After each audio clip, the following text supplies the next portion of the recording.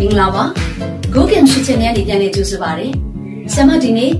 preparation of alkane သင်ခန်းစာကိုဆက်ပြီးသင်ပါမယ် lesson မစခင်ဆရာမရဲ့ channel ကို like share နဲ့ subscribe လုပ်ပြီးတော့ chemistry lesson တွေကိုစဉ်ဆက်မပြတ်သင်ယူဖို့ညာဘက်ထောက်မှာရှိတဲ့ bell လေးကိုလည်းဒီကိုပေးနေနော်ဆရာမပြီးခဲ့တဲ့ lesson 12မှာ number 1 heating sodium alkanorate with soda lime ဆိုတဲ့ number 1ခေါင်းစဉ်ကို equations တွေနဲ့သင်ခဲ့ပြီးပြီ ဒီမှာ Rx ဆိုတဲ့နေရာမှာ chloride, bromide, iodide သုံးခုလုံးကိုအစားထိုးရေးပြပါမယ်။ RX alkyl halide RX plus H2 နော် hydrogen ပေါင်းပြီးတက်ရှုံမယ်။ဒီမှာတော့ဆရာမ condition လို့တယ်။ condition ဆိုတာဒီလို reaction ဖြစ်တဲ့အခါမှာထည့်ရမယ့်ပစ္စည်းပေါ့နော်ဒါ condition ကိုဆရာမမြှားပေါ်မှာအမြဲတမ်းတည်ရရမယ်။ hydrogen ပေါင်းတဲ့ equation တိုင်းဓာတ်လျှော့တဲ့ hydrogen ပေါင်းပြီးဓာတ်လျှော့တဲ့ equation တိုင်းမှာ platinum ဒါမှမဟုတ်ရင် palladium เนาะ PT or PD ကိုထည့်ရပါမယ် platinum ဒါမှမဟုတ်ရင်ပါလေ palladium เนาะ PD အဲ့တော့ PT or PD တခုခုကိုဆရာမတို့ထည့်ပြီးတော့မှအသုံးပြုလို့ရတယ်သူ့မှာ condition နှစ်မျိုးရှိတယ်ဆရာမဒီမှာတော့ PT or PD ကိုအရင်သုံးပြပါမယ်နောက် equation တွေမှာနောက်ထပ် condition တစ်ခုထပ်ပြီးသုံးပြပါမယ် ကျောင်းသားကတော့ကြိုက်တဲ့ condition ကိုစက်ထားလို့ရတယ်။နော် PT ရော PT နော် platinum ဒါမှမဟုတ် palladium ကိုကျွန်တော်တို့ထည့်ခြင်းအပြင်ဒီ hydrogen ဟာ H atom နှစ်ခု꿰သွားမယ်နော် HH 꿰သွားပြီးတော့ H တစ်ခုက R နဲ့ပေါင်းမယ် RH ရပြီးတော့နောက်ထပ် H တစ်ခုက X နဲ့ပေါင်းပြီး HX ရပါမယ်။ကျွန်တော်တို့ဒီဘက်မှာရတာကိုရေးကြည့်ရအောင်။ RH ဒါ H လုံးကပေါင်းပြီးတော့နောက်တစ်ခုက HX hydrogen နဲ့ halide နဲ့ပေါင်းမှာပေါ့နော် HX ဒီလိုရမယ်။ နာမည်ပေးပါမယ်။အာရဲ့နာမည်က ALKYL L က X ကတော့ HALIDE halide hydrogen ပေါင်းရင်ညပေါ်မှာ PT or PD RH ကတော့ကျွန်တော်တို့ LK နော် ALK ANE LK ဒါပဲဒါ LK ကိုထုတ်ပေါ်ဖို့မလို့ LK နေရင်းမယ်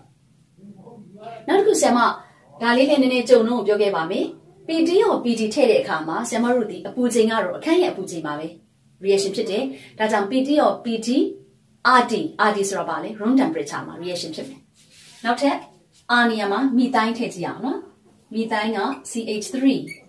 X နေရာမှာဆရာမ Cl ထည့်လိုက်တယ်အဲ့တော့ substituent ဖြစ်တဲ့ Cl အစားထိုးအုပ်စုသည် bond တစ်ခုအနေနဲ့ဒီမှာလာဆက်လိုက်တော့သူ့ရဲ့နာမည်ဟာ methyl chloride ဖြစ်မယ် plus H2 ညာရေးမယ်ဒီနေရာမှာဆရာမ PT ရော PT မသုံးမဲနဲ့နောက်ထပ်တစ်ခုသုံးပြပါမယ် hydrogen သုံးလို့ရှိရင် hydrogen ပေါင်းလို့ရှိရင် nickel ကိုသုံးလို့ရတယ်ဒါပေမဲ့အပူချိန်က300 degree celsius ပြရပါမယ်ဒီတော့ hydrogen ပေါင်းတဲ့ reaction တိုင်းမှာ condition နှစ်ခုတည်းကတစ်ခုအမြဲတမ်းသုံးပြရပါမယ် platinum or palladium ကိုသုံးရင် room temperature မှာ reaction ဖြစ်ပြီးတော့ nickel ကိုသုံးမယ်ဆိုရင်တော့300 degree celsius မှာမှ reaction ဖြစ်မယ်ဆက်ပြီးတော့ဆရာမတို့ ဟိုက်ဒရိုဂျင်နှလုံးကွဲထွက်တဲ့အခါမှာ H လုံးသည် C3 နော်ဒီဘက်ကိုပေါင်းလိုက်ရင် CH4 ဖြစ်သွားမယ် CL နဲ့ C3 နဲ့ဘုံကပြတ်သွားမယ်ပြတ်သွားပြီးတော့ပြတ်သွားတဲ့ CL တစ်လုံးသည်ဒီဘက်ကကျန်တဲ့နောက်ထပ် H နဲ့ပေါင်းပြီးတော့ HCl ဆိုပြီးရပါမယ်ဒါက HX နေရာမှာဘေးထွက်ပစ္စည်းအနေနဲ့ HCl နော် hydrogen chloride gas နော်ဒီလိုရပါမယ်ဒီမှာလေးထားရပါမယ် methane နာမည်ပေးပါမယ် M E T H A N E methane ဒါကတော့ M E T H Y L methyl C H L O R I D E chloride methyl chloride ရမယ်ဆက်ပြီးတော့ဆရာမတို့အာနီယာမှာ ethyl normal propyl isopropyl ဆရာမရေးပြပါမယ်ဒီမှာဆရာမ formula equation ကိုဖြတ်မထားပါဘူး rx h2 pt or pt rh hx ဒီ formula equation ကိုဆရာမတို့အလွတ်ချက်ထားပြီးတော့ r နေရာမှာဆရာမအခုတစ်ပုတ်အနေနဲ့ ch3 ch2 ဒါ ethyl x နေရာမှာဆရာမဒီတစ်ခါ br ရေးပြပါမယ် plus h2 မြားပေါ်မှာစောစောလိုပဲ nickel 300 degree celsius ဒါတင်လို့ရတယ်ဟိုက်ဒရိုဂျင်နှစ်ခုကတစ်ခုစီကွဲသွားပြီးတော့ Br နဲ့ DCH2 ကြားမှာရှိတဲ့ဘုံလေးကပြတ်သွားပြီဒီနေရာမှာဟိုက်ဒရိုဂျင်လာပေါင်းမယ်ဒါဆိုရင် CA3 CA3 လို့ရပြီးတော့ Br ကနောက်ထပ်ကျန်တဲ့ H နဲ့ပေါင်းမယ်ဒီမယ် CH3 single bond CH3 plus HBr ဒီလိုရမယ်နာမည်ပေးရအောင် C3 C2 ရဲ့နာမည်က ETHYL ethyl BR ရဲ့နာမည်က BRO MIDE bromide ethyl bromide ဒီမှာတော့ကာဗွန်နှလုံးဆိုတော့ ETH AME ethane တော့ဒါ ethyl iodide ကို hydrogen ပေါင်းရင် ethane ရမယ် condition ကိုကျွန်မ nickel 300 degree celsius ပေးထားတယ်နောက် equation ရောက်ရင် platinum ပြန်ပေးပြပါမယ်ဆရာမ formula equation ကိုဖြတ်ထားတယ်အဲ့ဒီ equation ကကျွန်မတို့လွတ်ရမှာပါ rx plus h2 pt or pd rh plus hx အဲ့ဒီ equation ရဲ့ r နေရာမှာဒီတစ်ခေါက်ဆရာမက normal propyl နဲ့ isopropyl ကိုတစ်ခါလေးရေးပြပါမယ်။နော်ဒါက3ပေါ့နော်။ normal propyl က CA3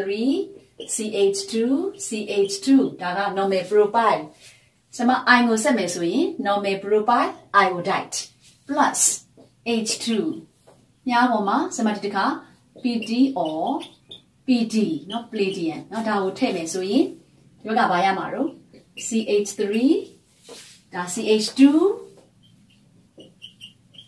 ဒီ CH2 နေရာကိုဒီနာ H လုံးကပေါင်းလိုက်တော့ဘာရမှာလဲ CH3 plus ကျန်ရခဲ့တဲ့ H နဲ့ I နဲ့ပေါင်းလိုက်တော့ဘာရမှာလဲ HI เนาะဒီလိုရမယ်ပုံစံတစ်ခုတည်းပဲဆရာမတို့ကကာဗွန်လေးတွေတိုးတိုးပြီးတော့ပြောင်းသွားတာပဲရှိတယ် reaction ပုံစံကဘာမှပြောင်းလဲခြင်းမရှိဘူးသူ့ကိုနာမည်ပေးမယ်မြင်းပြောင်းရဲ့ဒီ I ဒီ straight chain မှာနေရာယူထားတာဖြစ်တဲ့အတွက် normal PROPYL normal profile IODIDE normal profile iodide ဟိုဘက်ကဘာရမှာတော့ CA3 CH2 CA3 ဘာဖြစ်မှာလဲကာဗွန်3လုံး PROP single bond ဖြစ်တဲ့အတွက် AME propane နောက်တစ်ခု isopropyl ကိုရေးပြပါမယ် CA3 CH ဒီအောက်မှာ1 branch ခက်ဖြာတစ်ခုရှိမယ် CA3 ဒီကာဗွန်မှာ1 2 3ပဲရှိသေးတယ်နောက်ထပ်အစားထိုးအုပ်စု CLBRI ကြိုက်တာဝင်လို့ရနော်ဆမဒီမှာဆမ CL ဝင်လိုက်ပါမယ်ဒီ CL ဒီဒီကာဗွန်လာဆက်တာ ဒီလိုခက်ဖြာပုံစံတစ်ခုရှိတာကိုဆမတို့ဘာလို့ခေါ်တာလဲ isopropyl chloride သူ့ကို H2 ပေါင်းမယ်ညာပေါ်မှာ PT or PT เนาะဒီလိုရေးလို့ရတယ်ဒီမှာရှိတဲ့ H နှလုံးကတစ်လုံးဒီဒီကာဗွန်ကိုလာပေါင်းရင်ဒီမှာဘာဖြစ်သွားမှာလဲ CH2 DCl ကထွက်သွားမယ်နောက်ကျန်တဲ့ H နဲ့ပေါင်းပြီး HCl နေနဲ့ရမယ်ဒီ C3 ကိုတော့ဆောစောပုံမှန်အတိုင်းဆရာမ C3 ပုံစံ propane ပုံစံပြန်ရေးမယ် CH3 CH2 ဖြစ်မယ်နော်ဒီမှာရှိတဲ့ H နေရာမှာဝင်ပါဒါကအောက်ကကြာနေတဲ့ CH3 ကိုဒီနောက်မှာပြန်လာဆက်လိုက်တယ်ဒီဘက်က ACL ဒီလိုဖြစ်ပါမယ် CH3 CH2 ဒီ CA3 ကိုနောက်ကိုပို့လိုက်တော့ CA3 ရလာတဲ့ CL က ACL နဲ့ထွက်သွားမယ်နာမည်ပေးရအောင်ဒါဒီ ISO ကာဗွန်တုံးလို့ PROPYL ဒီလိုမျိုး အစားထိုးအုပ်စုတစ်ခုရှိခြင်းဒီ YL normal propane chloride လို့မရှိဘူး ANE ဒီ saturate bond ပြည့်ပြီးသားဒါကြောင့်ဒီလိုမျိုးအစားထိုးတစ်ခုရှိတယ်ဆိုရင်ဒါဒီဘာဖြစ်ရမလဲ YL ဒါနာမည်ပေးတဲ့အခါမှာသတိထားရမယ် no isopropyl chloride ရှိတဲ့အတွက်ကြောင့် CHLORIDE chloride ဒီဘက်ကတော့ဘာဖြစ်မလဲ propane P R O P A N E သူ့ထဲမှာဘာအစားထိုးအုပ်စုမှမရှိဘူးကာဗွန်မှာဟိုက်ဒရိုဂျင်၄လုံးအပြည့်နေရာယူထားတယ် နောက် method တစ်ခုက reduction of alkenes alkene များကိုဓာတ်လျှော့မယ်ဒီလိုလျှော့တဲ့အခါမှာ hydrogenation လို့ခေါ်တဲ့ hydrogen ပေါင်းခြင်းဖြင့်ဓာတ်လျှော့ပါမယ် general formula R CH double bond CH2 ဆိုတဲ့ alkene ကို H2 ပေါင်းပါမယ်ဒီလိုပေါင်းတဲ့အခါမှာ catalyst အနေနဲ့ platinum သို့မဟုတ် palladium ကိုထည့်ပါမယ် platinum သို့မဟုတ် palladium ကို catalyst ဖြစ်သုံးတဲ့အခါမှာအခန်းရဲ့အပူချိန်မှာ reaction ဖြစ်ပြီးတော့ဒီတပည့်ဘုံးရဲ့ဒီဘက်မှာ H လုံးဒီဘက်မှာ H လုံးဒီလိုဝင်ပါမယ်အဖြေက R CH2 single bond CH3 အဲ့တော့ဒါကဒီဘက်မှာ H လုံးဒီဘက်မှာ H လုံးကျွန်တော်တို့ဝင်လိုက်တာပါအမည်ပေးမယ်ဒါက alkene ဒါက alkane ဒီ general formula အတိုင်း ကာဗွန်နှလုံးကနေစပြီးတော့ hydrogen ပေါင်းပါမယ် CH2 double bond CH2 plus H2 မြားပေါ်မှာပလက်တီနမ်နဲ့ပလီဒီယမ်အစားနီကယ်ကိုတင်တဲ့အခါမှာအပူချိန်300ဒီဂရီဆဲလ်ဆီယပ်သုံးပါမယ်။အဲ့ဒီခါမှာဒီဟိုက်ဒရိုဂျင်နှလုံးဟာ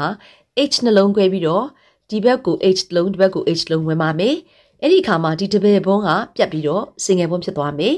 CH3 single bond CH3 နာမည်ကကာဗွန်နှလုံးဖြစ်တဲ့အတွက် ETH ANE ethane ဒီဘက်မှာကာဗွန်နှလုံးက ETH တပယ်ဘုံပါတဲ့အတွက် ENE နောက်ကာဗွန်သုံးလုံးထည့်ကြည့်ပါမယ်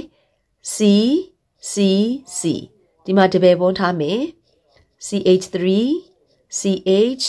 CH2 သူ့ထဲကိုလည်း H2 ပေါင်းမယ်ညပေါ်မှာ nickel 300 degree celsius ပေးပြီးတော့ catalyst သုံးမယ် ဟိုက်ဒရိုဂျင်နှလုံးကိုဒီတပည့်ဘုံးရဲ့ဒီဘက်မှာတစ်လုံးဒီဘက်မှာတစ်လုံးစမတို့ဝင်ပါမယ် CH3 single bond CH2 single bond CH3 ဒါကကာဗွန်၃လုံးဖြစ်တဲ့အတွက် PRO PENE propene ဒါကတော့ PRO PANE propane ဖြစ်ပါမယ်ဒီလိုပဲကာဗွန်၄လုံးကိုလည်း H2 ပေါင်းပြီးတော့1 butane ကနေ normal butane ဖြစ်မယ်2 butane ကနေပြီးတော့ normal butane ဖြစ်တဲ့ equation တွေကိုလည်းရေးလို့ရပါတယ်ဒီမှာ hydrogen ပေါင်းပြီး dash လျှော့တဲ့အခါမှာ catalyst ကို platinum သို့မဟုတ် palladium ကိုသုံးရင်ပဲဖြစ်ဖြစ် nickel 300 degree celsius ကိုသုံးရင်ပဲဖြစ်ဖြစ်ရပါတယ်နောက် lesson မှာ properties of alkane alkane တွေကဘယ်လို reaction မျိုးပေးတယ်လဲဆိုတာကိုကျွန်မသင်ပါမယ်ဒီနေ့ lesson ဒီလောက်ပါပဲ see you next lessons bye bye